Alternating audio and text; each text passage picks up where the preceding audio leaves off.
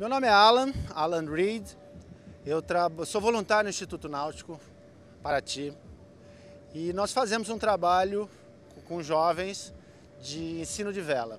O Instituto Náutico Paraty é uma escola de vela e há 11 anos realiza um trabalho com jovens da região. Ensinamos não só a vela, como os bons hábitos da cidadania e do, com, com a natureza, do comportamento com as pessoas.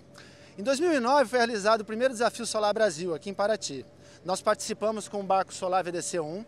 Esse aqui é o segundo barco que nós construímos, o VDC-2. E, e, e já estamos a tempo, toda a equipe solar, participando do Desafio Solar Brasil, das várias etapas, conseguindo boas colocações, bons resultados junto à Universidade Federal do Rio de Janeiro, junto a competindo com a Universidade Federal de Santa Catarina, com grandes instituições.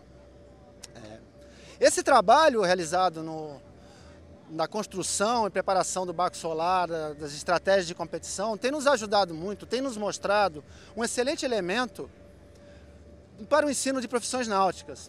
Os jovens do projeto têm aprendido eletricidade náutica, mecânica, fibra de vidro, várias outras profissões relacionadas, é, carpintaria naval, várias outras habilidades que são necessárias na região. Existe uma demanda muito grande por, por profissionais qualificados para esse tipo de serviço.